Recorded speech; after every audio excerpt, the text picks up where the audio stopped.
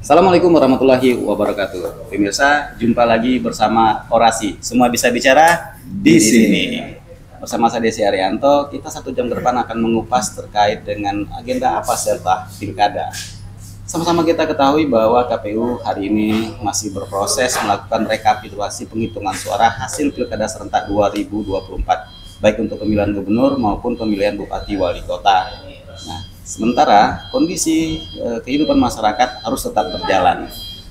Panjangnya proses pilkada tentu akan menimbulkan dampak dan dampak itu akan tetap terasa pasca pilkada. Seperti apa agenda pasca pilkada ini? Kita akan kupas bersama narasumber yang hari ini luar biasa dan punya kompetensi untuk membahas itu. Langsung saja kita sapa Mas Farisi.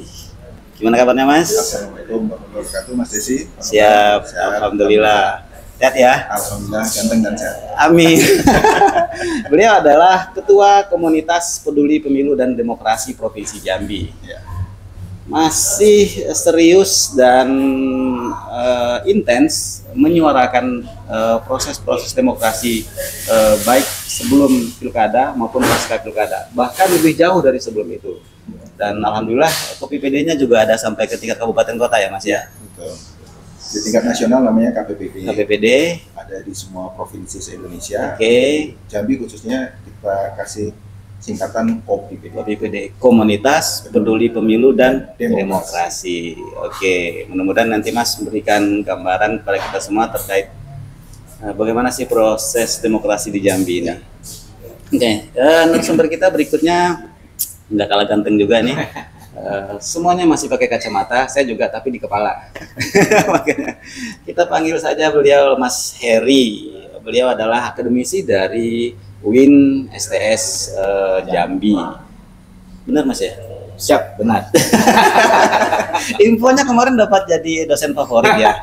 ya itu pilihan mahasiswa. Pilihan mahasiswa. Iya. Mahasiswi kayaknya. Mahasiswi. Asik ya. Iya. Uh, tapi tidak bagian dari agenda pilkada ya? Enggak. Enggak. Uh, kita mantau dari jauh aja. Mantau dari jauh aja. Oke. Okay. Nanti kita akan minta juga pendapat dari uh, Bang Heri ini terkait dengan uh, bagaimana pasca pilkada ini uh, kondisi Jambi. Uh, mungkin langsung saja ke Mas Farisi dulu, karena memang ya. sentuhan dari kopi PD ini kan nggak nggak ada batasan. Ya. Komunitas peduli pemilu dan demokrasi. Komunitas itu ada banyak di Jambi. Nah kalau dari pandangan Mas Farisi, terkait komunitas yang ada di Provinsi Jambi, respon mereka terhadap pilkada di Provinsi Jambi ini bagaimana? Oke, baik saya jelaskan dulu. Jadi PD ini lahirnya 2016, okay. itu adalah hasil dari kursus kepemiluan yang dilaksanakan oleh KPU Provinsi se-Indonesia, termasuk KPU Provinsi Jambi yang saat itu masih sebagai komisionernya. Ini jeruk makan jeruk ini. Ternyata ada Iya, kelihatan ini juga ada foundernya di sini. Iya. Dan setelah uh, output dari kursus kepemiluan itu lahirnya sebuah komunitas dan di komunitas namanya Komunitas Peduli Pemilu dan Demokrasi. Di dalam Komunitas Peduli Pemilu dan Demokrasi itu isinya adalah komunitas-komunitas juga. Hmm. Ada penyiar radio, ada dari OKP, ada dari uh, tukang ojek bahkan dan lain sebagainya ya. Organisasi perempuan disabilitas dan dan lain sebagainya banyak di situ. Nah tugas uh, komunitas kami ini apa? Perannya gitu ya? ada dua sebenarnya. Menjadi mitra dari penyelenggara untuk satu melakukan sosialisasi okay. terkait dengan proses-proses uh, pemilu. Dan yang kedua adalah melakukan pendidikan politik atau pendidikan pemilu kepada masyarakat. Jadi dua tupoksi itulah yang memang kita lakukan. Dan kita ber, kita menjadi role model atau menjadi pionir lah kira-kira gitu yang terus untuk menyuarakan ayo dong kita sama-sama semua masyarakat khususnya di Provinsi Jambi menjadi pemilih yang cerdas. Benar-benar sadar bahwa kita punya hak pilih jangan disia-siakan sehingga pada saat ada pemilu kita benar-benar uh, menggunakan hak kita hak pilih kita itu secara bertanggung jawab dan berkualitas Kenapa bertanggung jawab? Karena tadi uh, mungkin banyak orang yang nggak sadar apa sih sebenarnya pemilu. Tujuan okay. pemilu apa? Kan ini untuk jadi berjalannya sebuah pemerintahan itu kan ada eksekutif dan legislatif. Uh, untuk pilkada ada mulai dari presiden, gubernur, bupati, wali kota dan untuk legislatif itu ada anggota DPR, DPR provinsi dan DPR kabupaten kota. Dan mereka itulah yang nanti akan menjalankan pemerintahan. Oke. Okay mulai dari penganggarannya, mulai dari pelaksanaannya, mulai dari membuat regulasinya, itu mereka itulah yang akan menyelenggarakan pemerintahan dan efeknya, endingnya adalah harusnya untuk kesejahteraan. Okay. Pada saat nanti uh, eksekutif maupun legislatif itu diisi orang-orang yang tidak punya kapasitas, tidak punya kemampuan, tidak punya moral yang bagus, tidak punya etika yang bagus, maka jalannya pemerintahan lima tahun ke tidak akan maksimal. Okay. Yang paling terasa adalah banyak korupsi. Karena musuh terbesar bangsa ini sebenarnya di depan mata adalah perilaku korupsi. Barusan kemarin itu Bengkulu ya, tidak salah. Ya. Itu juga calon itu padahal. Hmm. Dia cuti, balik lagi, tangkap KPK. Dan pagi ini saya baca di Riau kalau tidak salah. Ya. Pagi ini, PJ-nya uh, ketangkap juga dan itu uh, korupsi juga. Artinya momok terbesar itu adalah di perilaku perilaku korupsi yang dijalankan. Dan itu sumbernya kalau di di tarik ke belakang, tarik ke belakang itu mulai dari pilkadanya, mulai dari rekrutmen di partai politik, sampai kemudian juga uh, masyarakat menjadi menjadi bagian kalau dia tidak cerdas terkamuflase ditutupi yang baik-baik dia tidak sadar tidak dia tidak pandai untuk melihat rekam jejak akhirnya nyoblosnya asal-asalan yeah. makanya saya pengen kami pengen bahwa pemilih itu benar-benar punya kualitas bertanggung jawab dan berkualitas untuk memilih itu sih Oke, nah kaitan komunitas itu dengan agenda pilkada yang terakhir gimana mas? Peran serta mereka, partisipasi mereka, respon mereka? Maksudnya komunitasnya uh, atau? Ya, dari Kopi PD itu kan uh, cakupannya banyak komunitas nih. Hmm. Nah, dari pengamatan Mas Farisi, hmm. uh, masyarakat lah yang hmm. tergabung dalam komunitas-komunitas itu hmm. responnya terhadap pilkada kita ini gimana? Ya sangat bagus ya, karena hampir hampir berapa kali kita bikin forum diskusi ya. Oke. Okay. Kan yang kita undang juga OKP dari partai politik. Terakhir itu etnis-etnis tuh. Oke. Okay. Etnis-etnis yang ada di Jambi semuanya dan um, mayoritas semuanya um, apa ya excited uh, bersemangat lah bersemangat. bersemangat dalam proses demokrasi ini. Cuma sekali lagi semangatnya itu semangat untuk apa kan gitu. Makanya kita coba untuk membangun narasi yang sama. Contoh misalnya ada organisasi besar misal NU, Muhammadiyah atau OKP, OKP, KMNI, uh, PBI, HMI, kemudian kelompok-kelompok komunitas masyarakat itu pada saat pilkada jangan menunggu semangat nyoblosnya oke, okay, tapi jangan cukup ada di situ. Harusnya apa? Harusnya menjadi bagian yang aktif untuk apa? Untuk mengundang mereka. Kita kan punya komunitas, misalnya eh, komunitas suku Jawa, hmm. apa, Ujak Suma atau apa istilahnya. Nah itu undang semua calon gubernur misalnya. Dua-duanya diundang, bisa satu forum atau terpisah.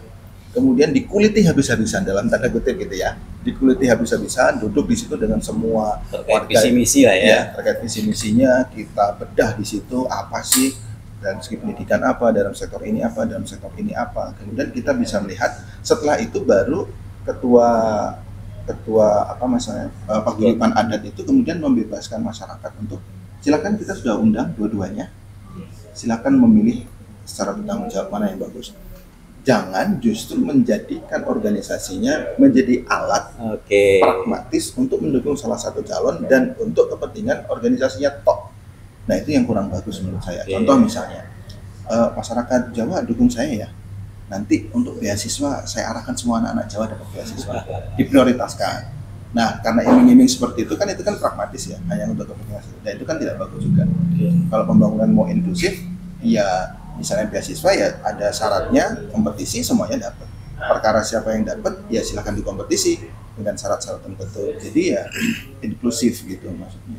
Nah itu yang kita dorong dan saya pikir masyarakat, kelompok-kelompok masyarakat secara eh, apa namanya, secara personal gitu memang bersemangat tapi perlu didorong lagi keterlibatan organisasinya untuk sama-sama menjadi pemilih yang Oke, terima kasih Mas Farisi. Ya. Kalau Bang Heri, gimana nih uh, pantauannya dari proses pilkada? Uh, kan dekat banget nih dari legislatif ke pilkada. Pemilihnya itulah. Kemudian yang di, menjadi pembedanya adalah uh, siapa yang dipilih nih. Kemarin agenda legislatif dan pilpres dan hari ini adalah uh, pemilihan kepala daerah Nah, menurut uh, Bang Heri gimana uh, respon masyarakat kan akademisi ini eh, cara mengkajinya nih beda nih dengan kita kita nih. Gimana Bang Heri? Ya, um, jadi yang pertama memang yang harus kita lihat uh, Bang Desi memang kalau berbicara pemilihan kepala daerah kita ini kan kali pertama yang serentak ya serentak seluruh ya. Indonesia gitu. Uh, yang menjadi unik adalah bagaimana uh, sebenarnya masyarakat itu uh, bisa uh, menentukan siapa yang menurut mereka layak dipilih gitu kan. Mereka sudah melaksanakan pemilu, ikut serta uh, pemilu legislatif. Terus hari ini kemarin baru saja kita menyaksikan sama-sama bagaimana mereka uh, berperan serta uh, ikut dalam ini ya uh, pilkada. Ya. Gitu. Bupati wali kota dan juga gubernur. Nah, uh, kalau kita lihat dari angka gitu ya mas, kalau partisipasi masyarakat agak mengalami penurunan ya. Kayaknya ya. legislatif dengan pilkada iya. ya, benar. Tapi kita nah. tunggu ya. Kalau saya lihat sementara ini sepertinya ada terjadi kecenderungan uh, yang berbeda. Terus juga uh, ada beberapa daerah saya lihat hmm, pemilih misalnya pemilih bupati total pemilih bupati dengan pemilih gubernur gubernurnya jumlahnya berbeda selisih selisih ya padahal di agenda yang sama di agenda yang sama dan ya. di hari yang sama mereka lebih banyak lebih banyak bupati. Ya, oke. Okay. Nah, terus juga um, yang juga menjadi ini ya karena di pilkada ini kan pilkada gubernur gitu ya. ya. Uh, selain bupati ada pilkada gubernur. Kita berhadapan meng, me, menyaksikan bagaimana ada dua kandidat gitu ya. Mengisi kandidat yang bertarung gitu ya. Hmm. Kalau di pilkada dulu uh, ada beberapa kandidat ini yeah. Kita melihat betul bagaimana ada di pilkada gubernur ini uh, friksi yang sangat kentara, sekat yang ya, nyata gitu ya. Biasa antara dua kandidat. Uh, sebagian mungkin orang menganggap pilkada Jambi ini, terutama gubernur misalnya, relatif aman gitu ya. Ketika berhadapan dengan masyarakat, mereka tidak bersuara secara langsung, tapi mereka menemui masyarakatnya uh, pisah-pisah gitu ya. Cuman menjadi hal yang berbeda kalau kita lihat di media sosial. Begitu keras sekali. Ya, hantam-hantaman malah ya. Begitu keras. Nah. Misalnya kita akan melihat uh, kandidat A disukan oleh dengan topik ini gitu ya. Kandidat B diserang dengan topik ini. Tapi setelah saya pikirkan kita lihat tidak selaras gitu. Oke. Misalnya ada kandidat A ini masalahkan soal infrastruktur ternyata di mana? Ya uh, ada yang soal isu misalnya tambang ternyata dia menang juga variabel apa sih yang membuat alasan masyarakat memilih ini menurut saya ini perlu kita lebih kaji lagi. karena apalagi ini tugasnya Mas Prisi ya untuk memberikan edukasi kepada pemilih. Apa faktor X sebenarnya yang memang menjadi uh, motivasi orang ketika ke TPS apa dasar dia memilih itu ya. karena hal-hal yang kita lihat ini mungkin bakal mengganjal pencalonan dua kandidat gitu. ya ternyata tidak selaras dengan pilihan masyarakat gitu ya. Di, di kabupaten kota juga kita melihat yang sama. Yeah. mas Faris apa Faris? Uh, misalnya saya melihat beberapa kasus gitu ada kandidat A dikritik soal sebuah topik gitu ya. Yang menurutnya misalnya dia pernah berkomitmen di masyarakat soal ini ternyata kita nggak lihat dengan hasil pilihan gitu. Ternyata dia menang juga padahal waktu awalnya dikritisi ya. Dikritisi gitu dan setiap hari kita lihat ada hal isu-isu tertentu soal itu gitu ya. Okay. nah itu satu. Yang kedua juga yang perlu saya yang kedua jangan dilanjutkan dulu oh, karena ada pesan-pesan yang lewat berikut ini. Pemirsa jangan ke mana-mana tetap bersama orasi. Semua bisa bicara di, di sini, sini.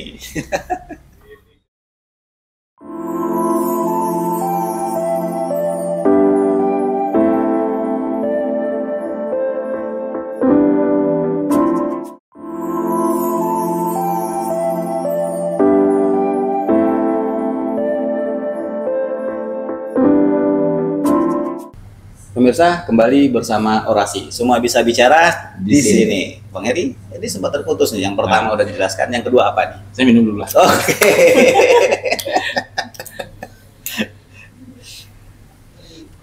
Jadi, uh, Bang Desi, itu kalau kita berbicara soal gubernur ya. Iya.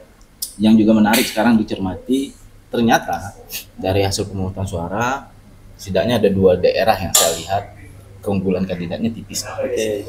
Ada di Merangin dan juga di Bungo. ya. tipis sekali Eh, menurut saya ini perlu pasca pilkada ini kita semua yang merasa dirinya adalah bagian dari Proses politik proses ya. politik menurut Hmm. saya eh, harus mau tidak mau harus dipanggil Oke.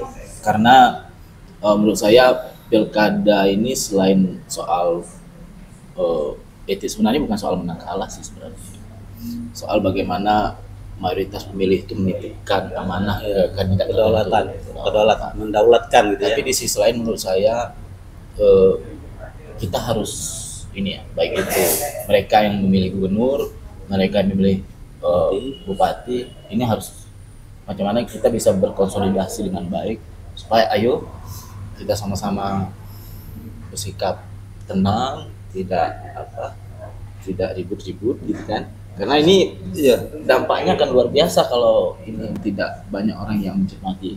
Karena mulai dari gubernur lah kita lihat. Oh, saya mencermati ada hal-hal yang luar biasa keras gitu ya soal pencalonan ini. Terus juga misalnya eh, kandidat bupati di beberapa daerah itu juga masa militan strong voters itu menurut saya Squad gitu ya. ketika dia belum beruntung kalah. Nah, ini, ini kan harus ditenangkan. belum lagi loyalitas eh, loyalis loyalis, loyalis ya. gitu ya. Ini juga harus ditenangkan. Terus juga keberadaan eh, orang yang bagian dari tim yang merasa dirinya menang gitu kan. Itu juga kalau bisa jangan euforia Euforia. euforianya berlebihan. Karena ini memancing juga yang kalah. Oke. Karena gini, Monesi, Em, tiga kurang lebih empat hari ini, saya kebetulan sering juga yang mengamati tren yang ada di media sosial ya. Oke. Fenomena doxing, jadi orang yang mengungkapkan identitas, terus dia umbar, si A ini siapa, dia kalah, Ya. itu saya lihat ada beberapa daerah tuh. Hmm.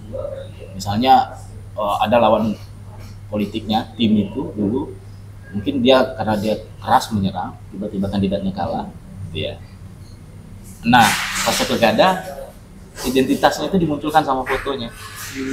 Nah saya melihat tuh di beberapa di beberapa daerah. Daerah muncul ya. ya dan ya menurut saya ini perlu kita cermati sama-sama. Cyberbullying. Ya, penting. Ya. bagaimana ada banyak orang hari ini muncul terus dia dibully di komentarnya dengan berbagai macam gitu ya. Padahal kan kalau kita pikir-pikir ya kandidat itu siapa yang dipilih ya pilihan dan ajang kontestasi lima tahunan. Ada yang katanya menang ada yang kalah. Bagi saya itu kan proses dari seleksi gitu ya. Ah, yang katanya menang kayaknya harus bijak yang kalah ya ya tunggu lagi gitu. Nanti kan kira-kira gitu lah Oke, oke, oke. Nah, Mas Farisi, ini kan menjadi menarik nih. Fenomena politik ini tidak rupanya tidak serta merta seperti kenyataan. Saya benci, saya tidak suka, saya tidak pilih. Nah, fenomena seperti itu di pilkada ini nggak nggak nggak terwujud. Ya beberapa isu yang diangkat yang menyebabkan prediksi akan mendowngrade Iya. ternyata malah di situ jadi pemenang. Nah, itu terjadi di pemilihan gubernur ataupun di pemilihan bupati wali kota. Nah, kira-kira ini sebuah perilaku pemilih yang bagaimana nih menurut Mas Farisi ini? Ya, jadi prevalensi Prevalensi. ya prevalensi orang memilih itu umumnya itu umumnya dibagi empat Oke. umumnya. Pertama karena faktor psikologis. Mungkin kedekatan sama-sama NU, sama-sama Muhammadiyah, sama-sama di organisasi apa gitu ya. Sama satu pondok. Ya, alumni SMA berapa gitu-gitu ya. Oke. Karena ada kedekatan seperti itu, akhirnya dia memilih. Uh, faktornya yang utama itu karena Oke. faktor sosiologis. Ada lagi yang kedua, misalnya adalah faktor psikologis, psikologinya yang dimainkan. Psikologi ini contohnya adalah sama oh ini masih datuk saya, masih sepupu saya, sama-sama orang Jawa misalnya atau sama-sama orang Melayu, ada orang Palembang atau Bugis atau apa gitu. Jadi memilihnya karena karena faktor psikologis kesukuan atau kedekatan. Misalnya di kan masih kental juga ya, ya. yang yang hal seperti ya, faktor-faktor kekeluargaan segala macam. Jadi dia tidak melihat bagaimana kualitasnya, yang dilihat adalah kedekatan psikologi antara si calon dengan si pemilih. Kemudian yang ketiga itu faktor pragmatis, pemilih yang pragmatis. Pemilih yang pragmatis ini macam-macam. Uh, pragmatisnya karena apa? Bisa dikasih uang, bisa dijanjikan sesuatu, bisa karena uh, faktor jabatan misalnya dan lain sebagainya. Artinya dia memilih hanya untuk kepentingan sesaat dan kepentingan pribadinya saja. Nah, itu juga ternyata masih banyak. Yang yang seperti itu saya pernah baca survei itu masih 30-an persen. Dan yang terakhir itu baru pemilih yang rasional. Umumnya memang yang pendidikannya tinggi berada di perkotaan ya. Nah, yang mereka banyak informasi, mengakses banyak cara untuk mengakses informasi dan mendapatkan pengetahuan dari bagaimana hasil rekam jejak rekomendasi calon. Dan itu tidak banyak. Yeah. Nah, yang ingin kita banyakin yang seperti itu. Karena sekali lagi Mas Desi, karena ini untuk bahan diskusi. Apakah one man one vote one value ini apakah sudah tepat? yang kita gunakan kan one man one vote one value artinya yang uh, tokoh agama ke, uh, imannya ketakwaannya tinggi nilainya satu. Yang preman-preman gitu ya maaf yang tukang judi online dan lain-lain gitu ya. Satu juga satu juga. Yang profesor juga nilainya satu dan mohon maaf yang yang kuli-kuli atau apa gitu nilainya sama satu.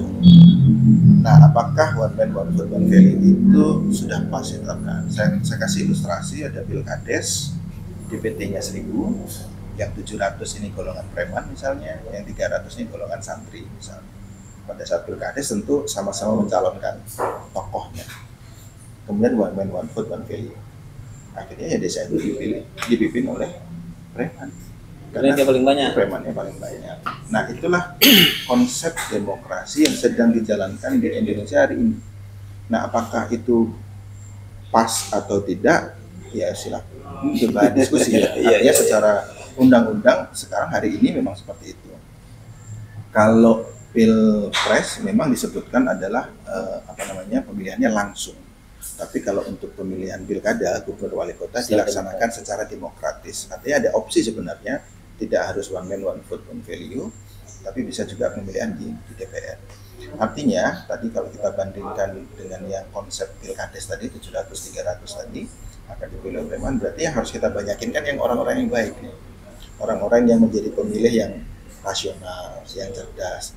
Nah ini yang terus kita upayakan di kokpit nah tentunya dari yang disampaikan Mas Desi tadi kesimpulannya kenapa kemudian pada saat diisukan yeah. tertentu buruk di situ ternyata malah menang. Ya ada empat prevalensi tadi.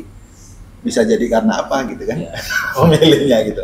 Karena faktor yang pasti bukan pemilih yang cerdas nampaknya kalau mereka merasa bahwa kemudian pemimpin yang lama ini incumbent membawa mudorotnya banyak kenapa mesti terpilih berarti kan bukan bukan faktor itu yang membuat mereka bukan pemilih yang rasional dan cerdas yang kemudian membuat mereka menetapkan pemilihan di situ.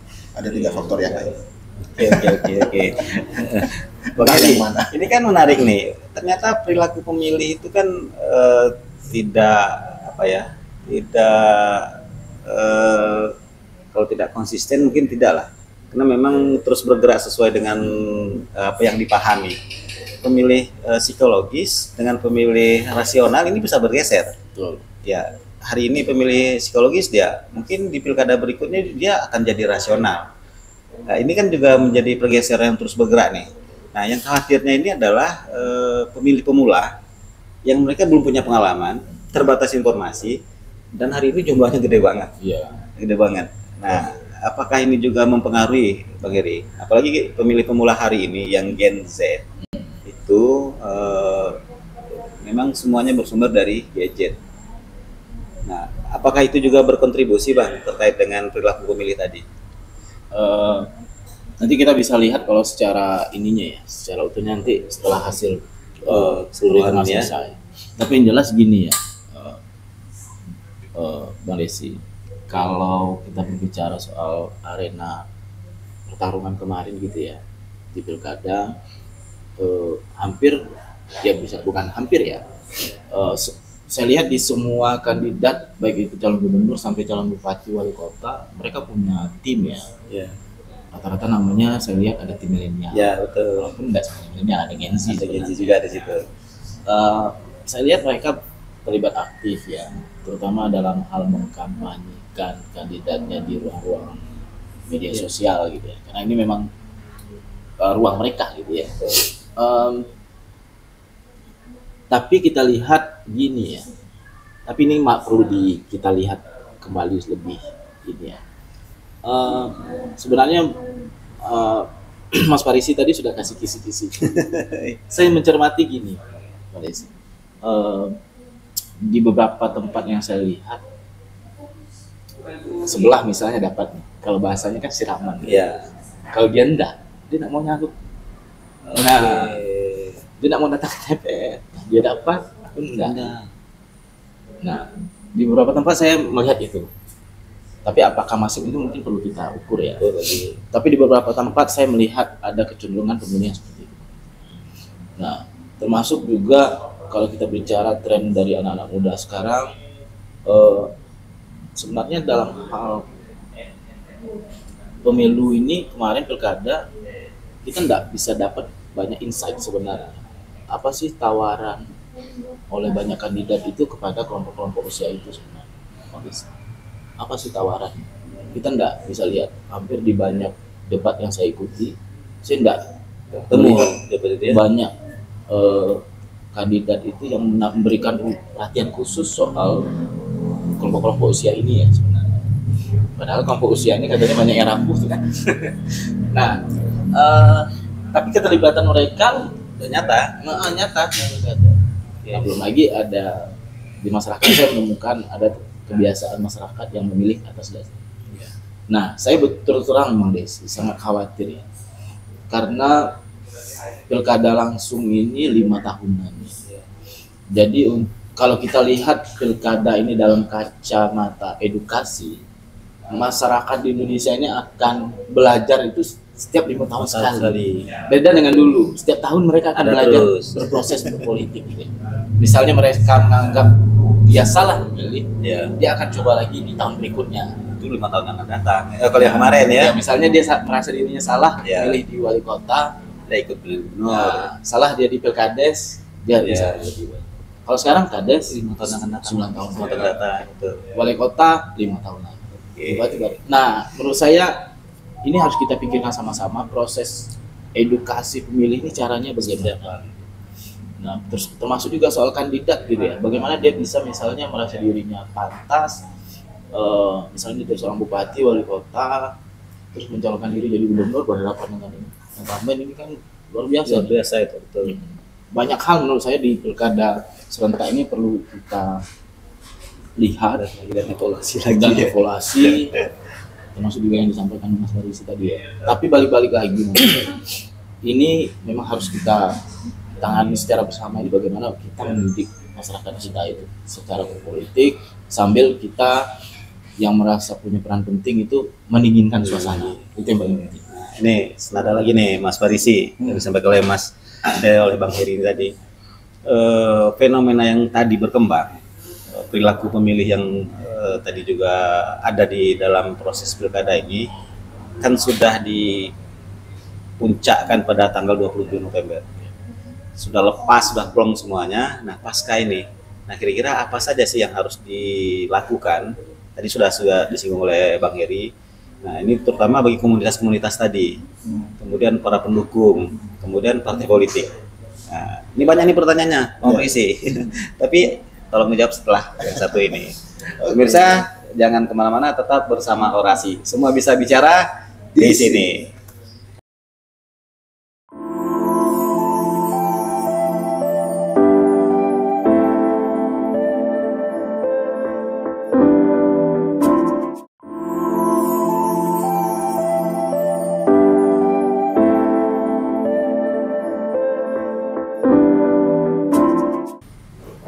Kembali bersama orasi. Semua bisa bicara di sini. Mas Polisi, ya. tadi tempat terputus Mas ya. terkait dengan eh, perilaku pemilih yang fenomena yang ada. Nah, kemudian pasca 27 November ini konklusi seperti apa yang harus dibangun, konsolidasi seperti apa yang harus dibangun, terutama dari komunitas-komunitas, tim, partai politik dan segala macam itu. Oke, yang pertama kita ke penyelenggara dulu.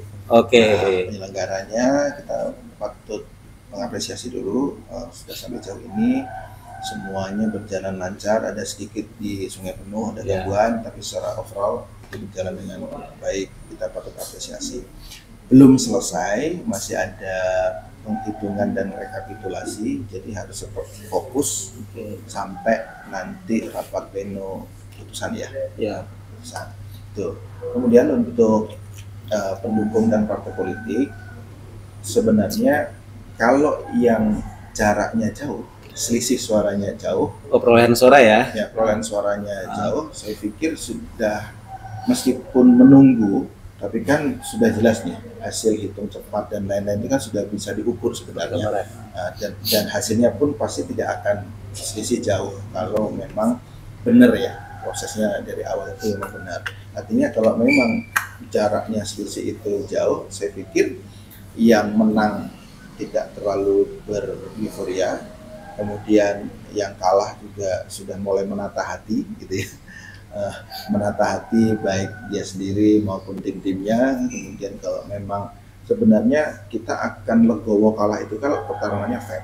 Ya ya kan? Nah nah kalau memang dia ngerasa itu fair kalau memang jarak selisihnya sudah tinggal menata hati, mendinginkan para pendukungnya, mengucapkan terima kasih kepada pendukungnya sudah berjuang bersama dan menunggu hasil final, kemudian mengucapkan selamat legowo karena memang di awal kan harus ada fakta siap menang dan siap kalah. kalah. Nah, untuk yang selisihnya tipis, nah itu juga dikawal dengan dikawal dengan baik proses penghitungan suara sampai rekapitulasi sampai nanti pemungutan. Apabila dirasa ada hal-hal yang dilakukan pelanggaran, silakan menggunakan jalur-jalur yeah. formal yang tersedia, melaporkan ke Bawaslu, ke DKPP, atau ke Mahkamah Konstitusi. Nah, jadi uh, berpolitiknya juga secara dewasa gitu. Nah, untuk masyarakat karena udah selesai ya sudah kembali lagi beraktivitas uh, sesuai dengan uh, bidangnya masing-masing. Kemudian uh, yang kemarin sempat misalnya uh, ada benturan-benturan sedikit, nah itu karena kedewasaan kita berpolitik harusnya itu sudah disudahi dan ya kembali lagi berbaur. Nah kemudian yang harus dilakukan berikutnya adalah komunitas masyarakat ini sekali lagi ikut mengawal proses pembangunan. Okay. Si calon tadi yang sudah selisihnya uh, banyak, yang kemungkinan nanti memang akan terpilih, itu pilkadanya ini bukan tujuan. Tujuannya adalah bagaimana nanti melaksanakan proses pembangunan lima tahun ke depan. Iya. artinya itu yang kemudian harus segera untuk difikirkan gitu bagaimana visi misi program. Karena tidak mudah menjadi kepala daerah itu karena harus regulasi ada di DPR atau segala macam mengeksekusi sebuah kebijakan, belum lagi ada perubahan peraturan dan lain sebagainya. Ini kewenangan pusat, provinsi, kewenangan kabupaten, macam-macam dengan hampir semua anggaran anggaran kabupaten ini kan daerah ini kan tidak ada yang PAD-nya melebihi uh, apa namanya APBD-nya. Artinya semuanya masih tergantung sama pusat dan hampir semua daerah tentu uangnya dikit tapi kebutuhannya banyak. banyak. Nah, bagaimana mengelola anggaran, kemudian mulai melihat bagaimana nanti menyusun tim karena akan berjalan dengan baik kalau bupatinya kepala daerah itu punya tim yang solid. Tim yang solid itu kunci utama bagaimana bisa pembangunan ini berjalan dengan baik. Itu dari sisi itu dan dari sisi masyarakat terus mengawasi janji-janji politiknya kemudian ditagih ada fungsi DPR di situ melakukan uh, controlling, pengawasan masyarakat melalui media, melalui akademisi, melalui komunitas-komunitas, terus mengawasi, menagih janji semua program-programnya. Saya pikir itu khususnya. Oke. Nah kalau dari Bang Heri gimana Pak? Ya, yang jelas menurut saya eh, penyelenggara memang sudah secara maksimal ya. ya. eh, setelah pilkada yang paling penting tinggal lagi penyelenggara memberikan semacam pertanggungjawaban publik gitu ya, Oke. sebagai bahwa memang mereka bekerja secara profesional karena eh, sering kali di pelaksanaan pemilu itu banyak penyelenggara itu yang bilang "Eh, kami siap damai penting kamu eh, menurut saya ini harus diyakinkan kepada publik bahwa mereka memang bekerja secara fair profesional gitu ya. terus di selain itu memang em, penyelenggara juga paling penting juga terus eh, berkoordinasi dengan kandidat bagaimana jalannya tahapan ini eh, bisa berjalan dengan baik gitu ya lancar Desi. terus juga dengan pihak misalnya eh, aparat gitu ya yaitu kepolisian segala macam juga bagaimana mereka bisa bekerja secara selaras gitu untuk eh, menjaga bagaimana tahapan yang di ujung ini bisa lancar gitu ya. Sayang ala- eh, misalnya sejauh ini lancar Iya, tapi di ujung-ujungnya terjadi hal yang tidak dikehendaki proses mitigasi itu menjadi hal yang menurut saya penting. Apalagi tadi sudah kita bahas bahwa di beberapa pilkada tipis sekali. Nah belum lagi ada fenomena yang tadi saya bilang doxing gitu ya cyberbullying ini harus diselesaikan. Oke. sudah saatnya kita rembuk bersama gitu kan. Karena ini kepentingan Jambi kan. Oke.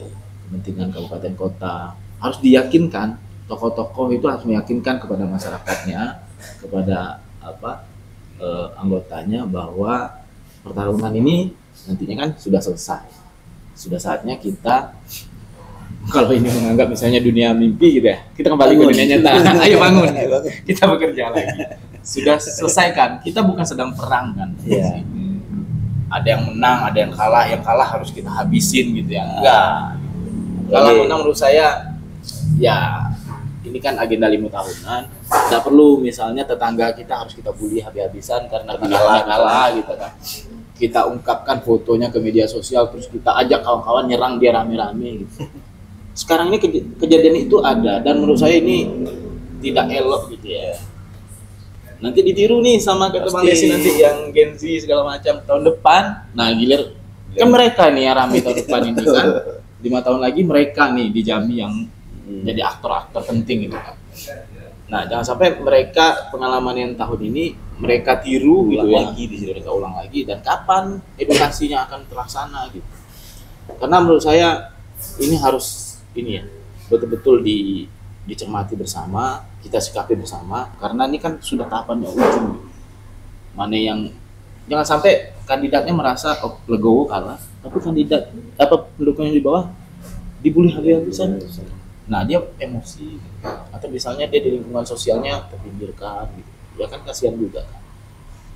Nah eh, di samping itu juga kita juga perlu menurut saya ke depan memikirkan apa yang formal formulasi yang pas gitu ya supaya memang eh, masyarakat itu bisa mendapatkan akses informasi secara lengkap terkait profiling kandidat menurut saya itu Oke. penting Baik pada masa pencalonan atau pasca pencalonan. Iya, sehingga memang eh, masyarakat itu menjadi tahu apa plus minus, apa instrumen dari negara atau negara mungkin yang bisa menyiapkan itu.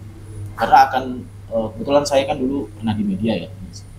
Kalau media ada kandidat yang bekerja sama dengan semua media, memanfaatkan banyak, oh, misalnya influencer dan segala macam, hal-hal yang kayak gitu kan nggak akan muncul lagi Ya.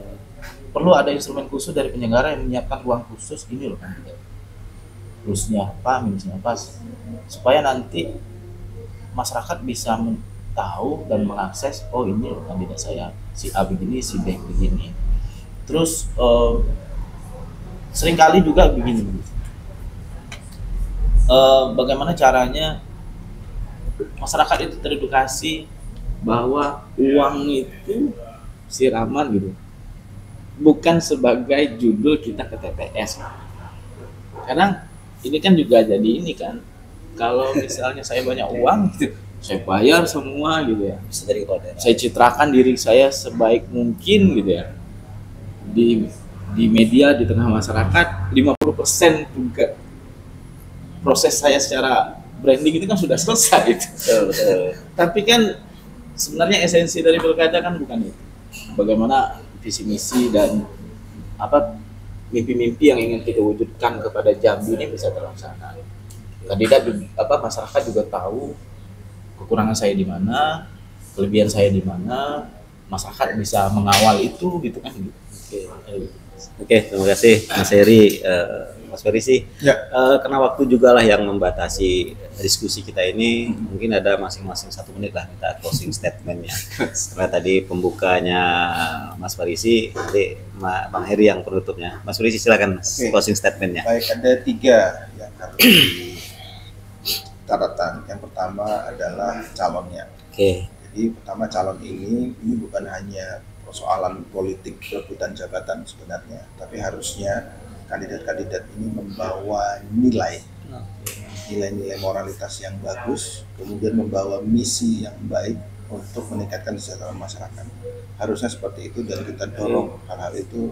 Jadi bukan hanya sekali lagi, kalau dia tidak moralitasnya bagus, tidak membawa misi, akhirnya nanti ujungnya korupsi Oke. mau untuk pembagian jabatan korupsi ini korupsi ini ada suap dan lain sebagainya itu ujungnya itu. Jadi pilkada ini harusnya membawa nilai-nilai moralitas yang baik. Kemudian yang kedua adalah eh, tentang masyarakatnya. Masyarakatnya harus terus diberikan edukasi. Gen Z tadi yang belum paham lima tahun ke depan itu harus banyak tidak bukan sosialisasi tapi pendidikan politik yang harus dibanyakin kalau di pemerintah pemerintah daerah itu tugasnya Kesbangpol terus Bang Pol. Oke. di ada KPU ada Bawaslu itu jangan eh, sosialisasi atau tidak ada kegiatan tapi pendidikan politik harus terus jalan dan yang lebih penting lagi pendidikan politik itu adalah keteladanan dari pemimpin saat yang sedang menjabat memberikan keteladanan-keteladanan dalam memberikan dengan menyelenggarakan pemerintahan secara good governance salah satunya misalnya adalah keterbukaan informasi publik misalnya sehingga orang bisa melihat sekarang orang bisa mengakses apa saja yang sedang dilakukan dan yang ketiga adalah tentang partai politiknya. Partai politiknya juga harus sehat karena em, hak kita untuk memilih itu diseleksi oleh partai terlebih dahulu. Karena partai lembaga-lembaga lembaga yang satu-satunya diamanahkan oleh undang-undang untuk melakukan seleksi kemungkinan. Maka partai politiknya harus harus sehat, harus berisi orang-orang yang bahasa Pancasila sila keempat adalah orang-orang yang hikmat dan Hikmat. bijaksana. Oke, terima kasih Mas Ferisi. Silakan Bang Heri. Ya, kalau kita lihat pelaksanaan pilkada tahun ini ada beberapa hal yang sebenarnya Bang Desi juga terjadi di pilkada-pilkada sebelumnya. Misalnya soal daerah rawan, Oke. ya kan? Bang Desi pasti tahu lah. Misalnya ada daerah yang secara nasional eh masuk. Zona merah. Ya ini menurut saya setelah pilkada ini harus Jadi ya, perhatian khusus ya. perhatian khusus. Bagaimana lima tahun ke depan tidak ada lagi Jambi salah satu daerah yang termasuk. Belum lagi faktor-faktor yang misalnya membuat eh, masyarakat itu cenderung apa berkonflik gitu ya segala macam ini harus di, betul-betul diedukasi baik dengan berbagai macam cara. Menurut saya itu juga penting.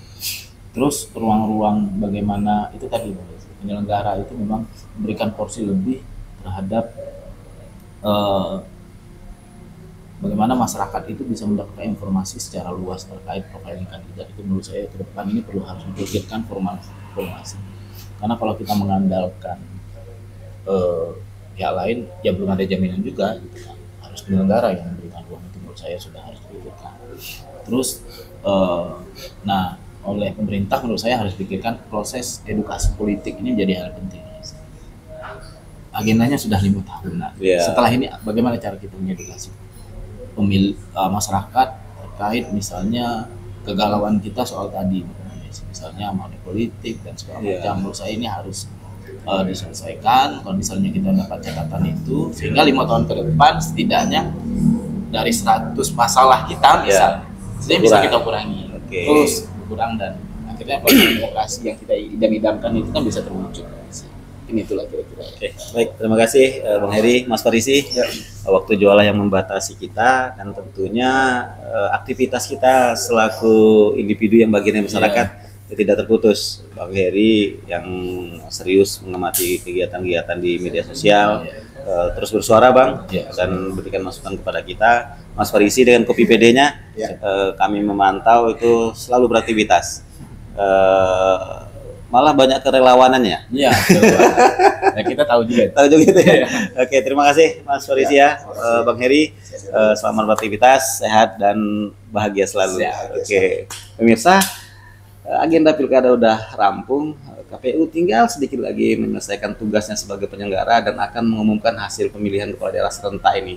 Tinggal kita masyarakat menerima dan kembali beraktivitas sebagaimana bagian dari kita masing-masing dan gesekan-gesekan kemarin yang pernah muncul tentunya itu juga harus dihilangkan. Euforia kemenangan jangan berlebihan, kemudian rasa eh, sakit yang mendalam karena kalah juga harus dihilangkan.